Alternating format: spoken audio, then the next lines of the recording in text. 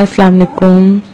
নিবে আমরা পরের জনের কাছে চলে যাই। নুরুজ্জামান ভাই আপনার কাছে আমি একটা প্রশ্ন করব। সবাই তো আমাদের কাছে প্রশ্ন করে আমি আপনার কাছে প্রশ্ন করব। সেটা হচ্ছে একাধিক মানে আমি আচ্ছা, ঠিক আছে আপনার ভাষায় না বলি। এতক্ষণ পরে হ্যালো বলছেন। শুনতে পাচ্ছেন আমি কি বলছি নুরুজ্জামান ভাই? হ্যাঁ ভাই, শুনতে পাচ্ছি, বলেন। আচ্ছা শুনেন। সবাই আমাকে প্রশ্ন করে, আমাদেরকে প্রশ্ন করে, কিন্তু আমি আপনার কাছে প্রশ্ন করতে ইচ্ছুক। আপনাকে একটা আমি প্রশ্ন করছি, সেটা হচ্ছে আপনি এখানে প্রাইভেট মেসেজে একটা কথা লিখেছেন। কথাটা আমি আপনার ভাষায় না বলে আমার ভাষায় বলছি। আপনি কথাটা লিখেছেন একাধিক বিয়ান, নেয়া, এরকম কিছু লিখছেন। আমি কথাটা পরিষ্কার করে বলছি। আপনি বলতে চেয়েছেন, একাধিক বিয়ে নিয়ে এত আপত্তি, বাট কিন্তু একাধিক বয়ফ্রেন্ড গার্লফ্রেন্ড নিয়ে আপত্তি নাই ভাই। একটু আমাদেরকে এক্সপ্লেইন করবেন আপনি আসলে কি বুঝাইছেন? I'd love to know. Yes, please, ভাই একটু যদি বলতেন। নুরুজ্জামান আপনার কিন্তু বাতাসের শোষ শব্দ এবং সেই সাথে আপনার কথা সব বন্ধ হয়ে গেছে। কিন্তু আপনার মাইক্রোফোন এখন আনবে হ্যাঁ শুনেছেন আপনি আমার কথাটা? একটু বলেন? সেটা।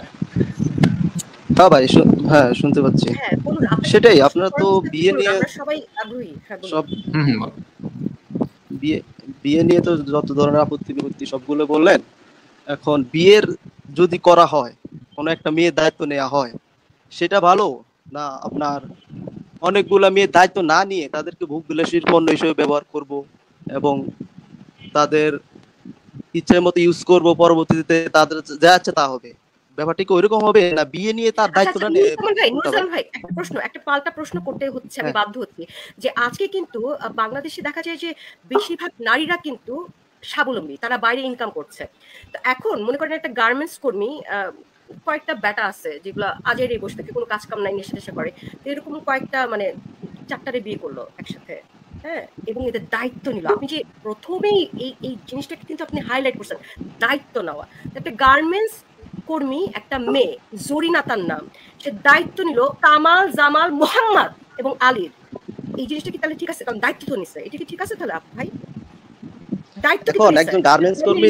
শোনেন আচ্ছা একজন গার্মেন্টস মন্ত্রীর দায়- কর্মীর দায়িত্ব নেয়া আর একজন রাষ্ট্রপ্রধান দায়িত্ব নেয়া এক না। বুঝলাম না বাংলাদেশের প্রত্যেকটা পুরুষ কি বাংলাদেশের প্রত্যেকটা পুরুষ রাষ্ট্রপ্রধান? বাংলাদেশের প্রত্যেকটা পুরুষ রাষ্ট্রপ্রধান? বাংলাদেশের প্রত্যেকটা পুরুষ রাষ্ট্রপ্রধান। হ্যাঁ, এদের সাথে কি কথা বলব আমি শোনেন বুঝছি, ভাইয়েরা বুঝছি, বুঝছি। আপনারা কথা বলতে দিবেন তো কথা একটু হ্যাঁ, ক্লিয়ার হ্যাঁ, শেষ করতে দেন। বলুন, ভাই, আমরা শুনছি, আপনারা একাধিক বিয়ে নিয়ে যত আলোচনা করছেন আচ্ছা আলোচনা করছেন আমাদের আপনার আগের কথাটা আমি শুনছি। আপনি কাইন্ডলি লোপাপু আপনাকে যে প্রশ্ন করছে আচ্ছা ঠিক আছে মনে হয় না লোপাপু ওনার কাছে ওই প্রশ্নের উত্তর আশা করাটা আপনার উচিত হবে। আপনি মানে আপনি সিরিয়াসলি মানুষের নাম্বাসনেসকে আপনি আন্ডার এস্টিমেট করতেছেন। এদের নাম্বাসনেসটাকে আপনি আন্ডার এস্টিমেট করতেছেন এটা ঠিক হচ্ছে না লোপাপু। আপনার বোঝা উচিত।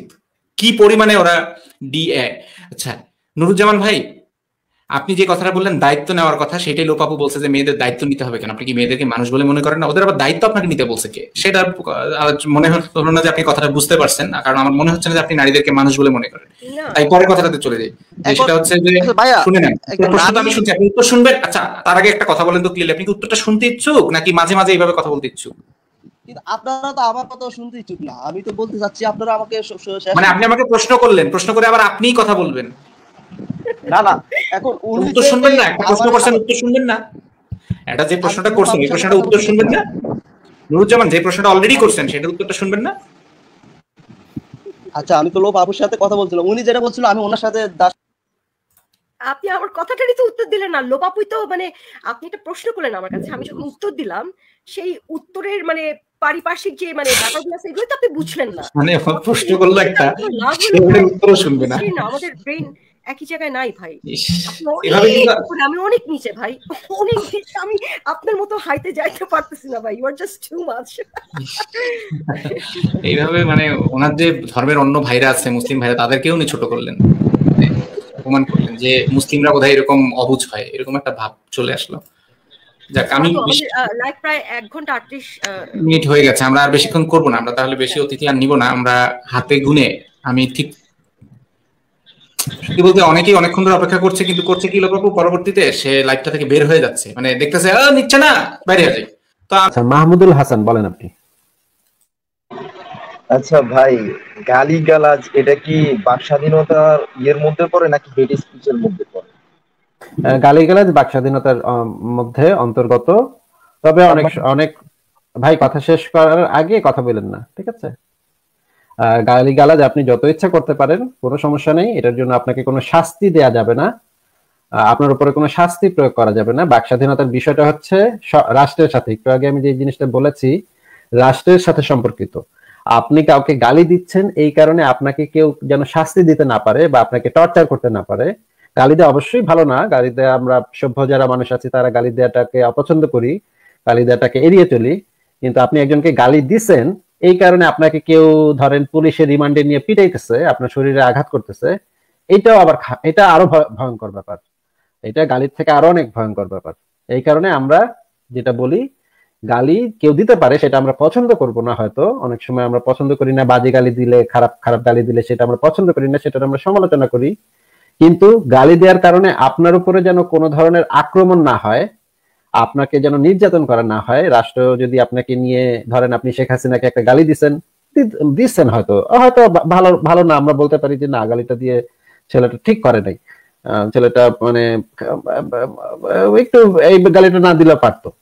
কিন্তু এখন যদি আপনাকে পুলিশ রিমান্ডে নিয়ে, ডিবি পুলিশ যদি আপনাকে উল্টা করে ঝুলায়, তারপর যদি আপনার আপনার এই যে মানে মানে আপনাকে অত্যাচার করে, আপনাকে বরফের উপরে রেখা যদি পিটায়, কেন গালি দিছস? এটা তো ভাই আরও ভয়ঙ্কর ব্যাপার। আপনি, আপনাকে বলা যেতে পারে যে আপনি গালিটা দিয়েন না বা আপনি গালিটা না দেয়াই ভালো, আপনাকে বোঝানো যেতে পারে, কিন্তু কোনো অবস্থাতেই আপনাকে যেন কেউ শারীরিক আক্রমণ না করতে পারে বা আপনাকে যেন কেউ নির্যাতন করতে না পারে। আমি সবার আগে সেখানে দাঁড়াবো। সবার আগে সে আপনার পক্ষে দাঁড়াবো। যেহেতু একটা গালি তো দিছে। কি এমন হয়েছে গালি দিলে এমন কি বা হইল? তো গালি তো দিছে। এইটার জন্য যেন তার উপরে কোনো ধরনের আক্রমণ না হয়, সেটা আপনি যদি আমাকেও গালি দেন, আমি হয়তো পছন্দ করব না আমি হয়তো আপনার একটা পাল্টা গালি দিয়ে দিতে পারি। সেটা অবস্থার উপরে নির্ভর করে। আপনি আমাকে কুত্তার বাচ্চা বললেন, আমি আপনাকে ঈশ্বরের বাচ্চা বলে দিলাম। শেষ, কাহিনী শেষ ভাই। কিন্তু আমাকে গালি দেওয়ার কারণে যদি আপনাকে পুলিশে ধরে বা আপনার উপরে যদি কোনো নির্যাতন হয়, তাহলে আমি সবার আগে, আমাকেও যদি আপনি গালি দিয়ে থাকেন, আমি সবার আগে সেখানে দাঁড়াবো যে না এই লোকটা আমাকে হয়তো গালি দিছে, কিন্তু তাই বলে তাকে কোনো ধরনের আক্রমণ বা কোনো ধরনের নির্যাতন বা কোনো ধরনের ভয় ভীতি এইটা করা চলবে না। এটা অন্যায়। বুঝতে পেরেছেন? আচ্ছা না, ব্যাপারটা হচ্ছে মানে আমাদের যে গ্রুপগুলো আছে, অনেক গ্রুপে নিয়ম আছে গালি দেওয়া নিষেধ। এবং কেউ যদি গালি দেয়, তাকে ব্যান করা হবে। এই ক্ষেত্রে মুমিনরা যুক্তি দেয় যে মানে আমরা কিসের বাক স্বাধীনতায় বিশ্বাস করি? মানে গালি কেন দিতে পারবে না? মানে নিজেদের জন্য বাক স্বাধীনতা মানে এই জন্য আর কি ব্যাপারটা। মানে ওরা বলতে চায় গালি দেওয়াটা বাক স্বাধীনতা মানে আমরা এটা কেন নিষেধ করব? না না, গালি দেওয়াটা বাক স্বাধীনতা অবশ্যই। সে তাহলে তার নিজের প্রোফাইলে গিয়ে গালিগুলো দিবে। কিন্তু একটা গ্রুপে গিয়ে যদি তার গালি দিতে হয়, তাহলে তো সেই গ্রুপের যে ওনার সে যে মালিক আছে, তার অনুমতি লাগবে। সে ডিসাইড করবে তার গ্রুপে কি চলবে না না চলবে। সে তার নিয়ম কারণ সে তৈরি করবে। যারা ওই গ্রুপের অ্যাডমিন আছে, যারা ওই গ্রুপের ইয়ে আছে, সেটা তাদের পার্সোনাল প্রপার্টি ভাই। সেইখানে তো আপনি গিয়ে বলতে পারেন না সেখানে আপনি বাক স্বাধীনতা চাইতে পারেন না। বাক স্বাধীনতা আপনার চাইতে হবে রাষ্ট্রের কাছে। বাক স্বাধীনতা তো ফেসবুকের কোন গ্রুপে গিয়ে আপনি বাক স্বাধীনতা দাবি করতে পারেন না। এটা যার বাপের বাপের পয়সা দিয়ে ইন্টারনেট কিনা একজন মানুষ গ্রুপ এখানে তো আপনার কিছু বলার নেই। হ্যাঁ, এখন ওরা বলে যে আপনি একটা গ্রুপে বাক স্বাধীনতা দিচ্ছেন না আপনি যদি রাষ্ট্রের ক্ষমতায় যান আপনারা তাহলেও তো আপনারা গ্রুপ থেকে বের করে দিচ্ছেন তাহলে তো দেশ থেকে বের করে দিবেন। মানে ওরা এই টাইপের যুক্তি দিচ্ছে তাই আর না এগুলো খুব ফালতু যুক্তি। একটা গ্রুপে মানুষ কি করবে না না করবে সে সেটা সে ডিসাইড করবে। রাষ্ট্র জিনিসটা আলাদা জিনিস। রাষ্ট্র হচ্ছে জনগণের ভোটে নির্বাচিত হয়। গ্রুপ ভাই মানুষ খুলে জনগণের ভোটে ভাই গ্রুপ খুলে না ভাই। হ্যাঁ জনগণের ভোট দিছে এই জন্য সে গ্রুপ কিলা অ্যাডমিন হয়েছে এইগুলো হয় না ভাই। আমি গ্রুপ খুলছি, আমি অ্যাডমিন আমি এখানে মানে মাতব্বর, আমি এখানে মাতবরি করব এটা ভাই আমার আমার জায়গা। আপনি থাকতে ইচ্ছা করলে থাকবেন না, ইচ্ছা করলে যাবেন না। সেটা হচ্ছে আমার গ্রুপ এই কারণে। কিন্তু রাষ্ট্র রাষ্ট্রের সরকার নির্ধারিত হয় জনগণের ভোটে। এইখানে এটা হচ্ছে একটা গণতান্ত্রিক সিস্টেম ফেসবুক গ্রুপের সাথে রাষ্ট্রের রাষ্ট্রীয় ব্যবস্থার কোনো তুলনা হয় না ভাই। এগুলা যারা বলে তারা মানে গাধার গাধার, গাধা। আচ্ছা ঠিক আছে ভাই। আরেকটা হচ্ছে, অনেক সেগুলার টাইপের অনেকেও বলে, ভাই, বা এমনিতেই বলে, আপনি নাস্তিক ভালো কথা, কিন্তু নাস্তিকতা প্রচার করতে পারবেন না। ঠিক আছে? এখন, একই কথা যদি ইসলাম প্রচার করতে পারে, ধর্ম প্রচার করতে পারে, সব ধর্ম প্রচার করতে পারে ইসলাম না, অন্যান্য ধর্ম কিন্তু প্রচার করতে পারে, তাহলে নাস্তিকতা কেন প্রচার করা যাবে না?